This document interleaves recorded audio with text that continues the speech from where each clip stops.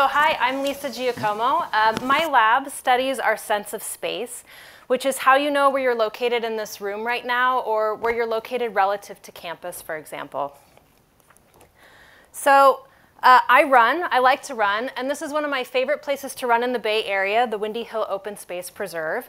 Um, and this is a map of Windy Hill. It has all of the trails and landmarks denoted. Um, but this is my cognitive map of Windy Hill. This is the map that my brain has created through exploration and interaction with this space.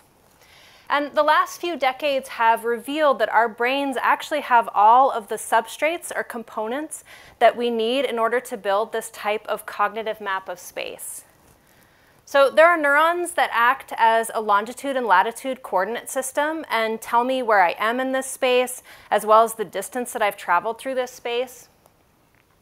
There are neurons that tell me where boundaries are, which is good for staying on the trail, and neurons that tell me where landmarks are, like the location of the parking lot.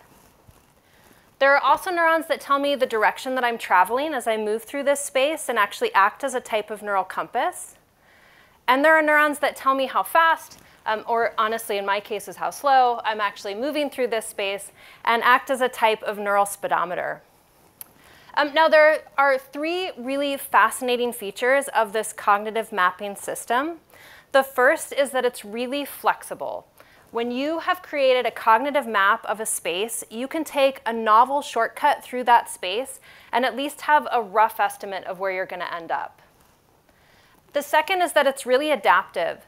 So you can learn a new feature about this space, like the location of a water source, and I can incorporate that into my cognitive map and use it when I later want to remember the location of that, uh, of that water source.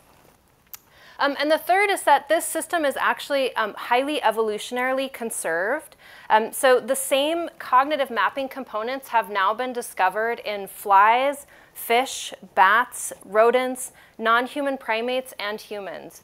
And so in my lab, by studying the cognitive mapping system in rodents, we think we can say something important about how this system works in humans.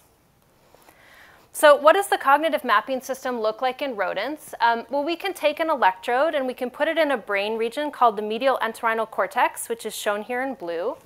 And we can look at the activity of neurons in this brain region as a mouse or a rat explores an environment, in this case, um, a large square box. And one of the cells, or one of the neurons that we'll see, is called a grid cell. And I'm showing you an example of a grid cell here. What you're looking at is the activity pattern of this cell from a bird's eye view after this mouse has explored this one by one meter box for about 20 minutes, where these blue colors indicate spatial positions in that box where the cell was not active, and the red and yellow colors indicate spatial positions in the box where the cell was highly active. Now, you can maybe see even just by eye that in many ways this pattern is somewhat reminiscent of a longitude and latitude coordinate system, only instead of a square grid covering a map, which is what we're used to looking at, say, in Google Maps, the unit of the grid is actually an equilateral triangle. Now, I am almost certain the mouse does not know how to compute an equilateral triangle, um, but the brain does, and that makes this one of the most fascinating features of the cognitive mapping system. Um, so these grid cells don't exist alone in entorhinal cortex. There are neurons that are only active when the animal's near a boundary or near an object. And these neurons tell us about where landmarks and borders are in our world. There are neurons that are active only when the animal faces a particular direction. In this example here, the northeast direction. And this provides us with a type of neural compass. And there are neurons that increase their activity as an animal runs faster and this provides us with a type of neural speedometer. Now, the vast majority of studies on this system have been performed in young, healthy animals. But what happens to this system as we age? So this is a question my lab has recently become really interested in. And an MSTP student in my lab, Charlotte Herber, has really focused on the question of what happens to our cognitive mapping system during normal, healthy aging. So to look at this question, we've actually turned to virtual reality. And the reason we've turned to virtual reality is old mice really don't like to explore large square boxes. Um, but they do still, and I don't know why, they do still like running on wheels. and they do still really like sugary water. Um, so what we have them do instead is run on a wheel down a long virtual hallway, and at the end of the hallway, they get a drop of a sugar liquid reward. Now, old and mice, old and young mice can learn this task really well. They'll run down this hallway hundreds of times for sugar reward.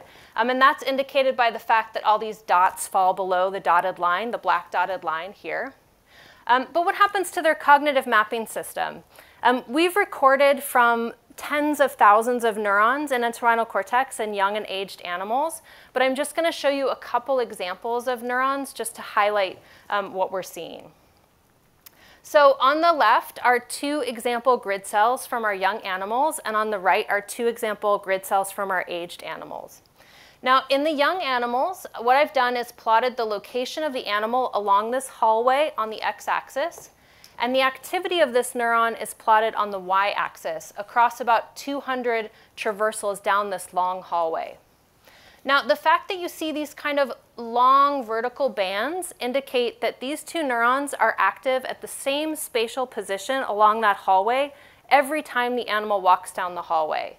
For example, if you look at the second neuron, it's active when the animal's at zero centimeters, around 150 centimeters, 200 centimeters, and 400 centimeters. It always is active there every time the animal walks down the hallway.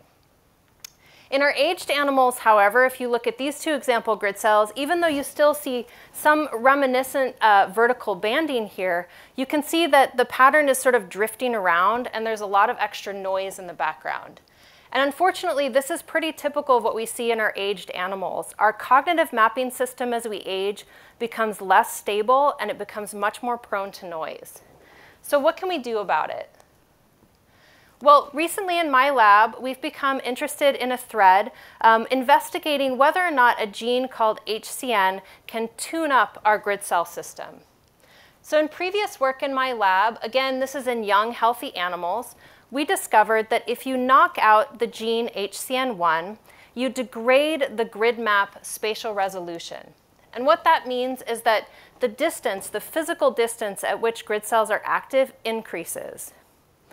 Intuitively, you can sort of think about this as deleting some of the longitude and latitude lines on your coordinate system.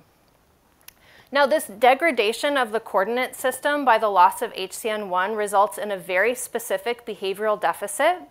So we can ask mice to do a task that's very similar to asking you to remember where you parked your car in the parking lot across different days. Okay?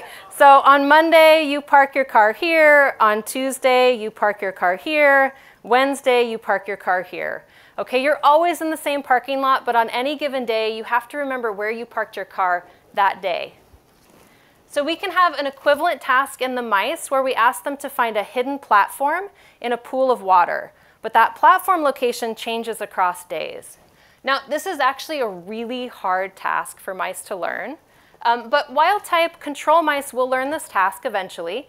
And if you give them four trials, four chances to go back to that platform, they'll take faster and more efficient routes, which indicates they've learned the location of that platform.